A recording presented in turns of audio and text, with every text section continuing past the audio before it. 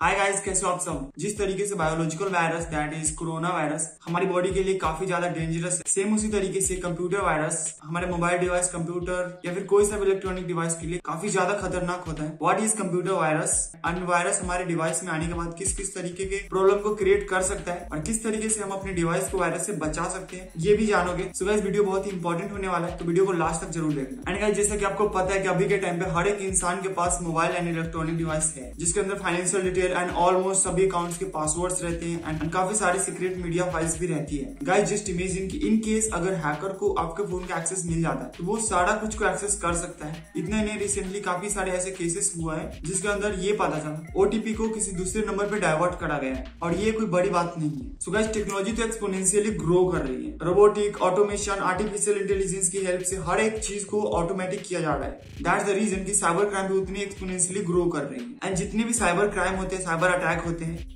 उसमें से काफ़ी बार हम लोग वायरस के बारे में सुनते हैं। तो एक्चुअली में ये वायरस होता क्या है? हमारे मोबाइल या डिवाइस में ये आता कैसे है? तो कंप्यूटर वायरस एक मेलेसियस सॉफ्टवेयर प्रोग्राम होता है। मेलेसियस सॉफ्टवेयर का मतलब होता है, वैसा सॉफ्टवेयर जो डिज़ाइन करा गया हो, जो क्रिएट किया गया हो, या तो कंप्यूटर को हार्म करने के लिए, नहीं तो कुछ डेटा को ब्रेक करने के लिए डेटा को चोरी करने के लिए। कुछ ऐसी कोडिंग होती है, किसी भी कंप्यूटर के रूट फ़ाइल को एक्सेस करने के लिए, या फिर उसको एनक्रिप्ट करने के लिए। अगर सिंपल सा समझाओ तो वैसा कंप्यूटर प्रोग्राम या फिर वैसा कंप्यूटर सॉफ्टवेयर जो हमारे कंप्यूटर मोबाइल को इफ़ेक्ट करता है, हमारे कंप्यूटर या मोबाइल को हार्म पहुंचाता है। या फिर हार्म पहुँचाने के इंटेंशन से बनाया गया हो वैसे सॉफ्टवेयर को वैसे लाइन ऑफ़ कोड को हम लोग वायरस बोलते हैं। तो ऐसे सॉफ्टवेयर प्रोग्राम बनाने का इंटेंशन ही होता है, किसी भी कंप्यूटर के अंदर अनऑथोराइज डेटा को एक्सेस करा जाए और डेटा को ब्रेक करा जाए। तो आप इंटरनेट पे जाते हो, किसी और सॉफ्टवेयर को डाउनलोड करते हो एंड अगर ये वायरस वहाँ से डाउनलोड हो जाता है तो बेसिकली इस वायरस को जिस लिए डिज़ाइन करा गया होगा, ये वो अपने काम को एक्सिक्यूट करेगा विदाउट आपके परमिशन ये आपके फ़ोन में डाउनलोड होगा, खुद से ही एक्सिक्यूट होना स्टार्ट करेगा, खुद से रैम में लोड होगा, और ये जिस भी काम के लिए डिज़ाइन करा गया होगा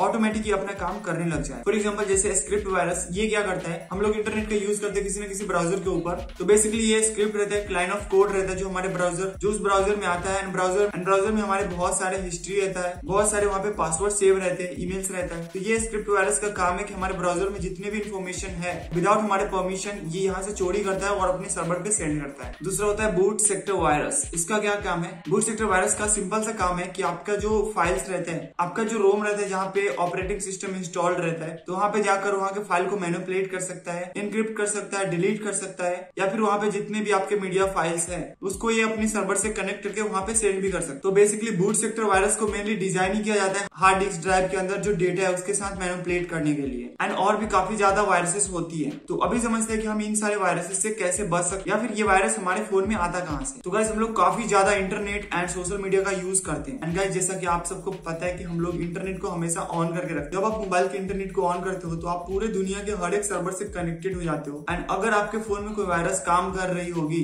तो वो आपके डेटा को सेंड कर रहा होगा किसी न किसी सर्वर पे। तो इसलिए जब तक इंटरनेट का यूज़ है, तभी आप इंटरनेट से कनेक्टेड रहो।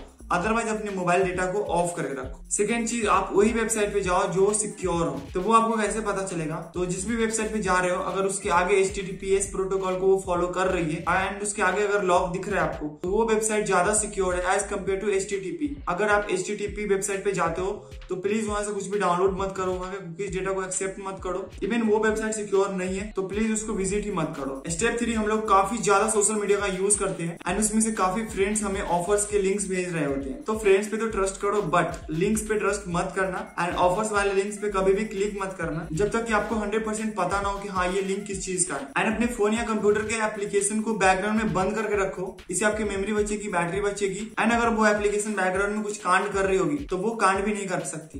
लास्ट एंड सबसे ज़्यादा इंपॉर्टेंट वीपीएन का यूज़ करना स्टार्ट करो। एंड साइबर क्राइम के न्यूज़ से अपडेट रहो कि क्या चल रहा है मार्केट में किस किस तरीके के अटैक हो रहे हैं, किस तरीके के वायरसेस अटैक कर रहे हैं, कैसे डेटा लीक हो रही है। तो इन सब चीज़ों के बारे में अवेयर रहो बिकॉज़ इस टेक्नोलॉजी के दुनिया में सबसे ज़्यादा सबसे ज़्यादा अगर इंपॉर्टेंट है तो वो है अवेयरनेस होप गाइज़ आपको कंप्यूटर वायरस के बारे में कुछ नॉलेज हुआ होगा। अगर किसी भी तरीके का डाउट है तो प्लीज़ कमेंट करो। एंड इसी तरीके की क्वालिटी कंटेंट के लिए आप चैनल को सब्सक्राइब कर सकते हो। मिलते हैं नेक्स्ट वीडियो में, तब तक टेक केयर एंड बाय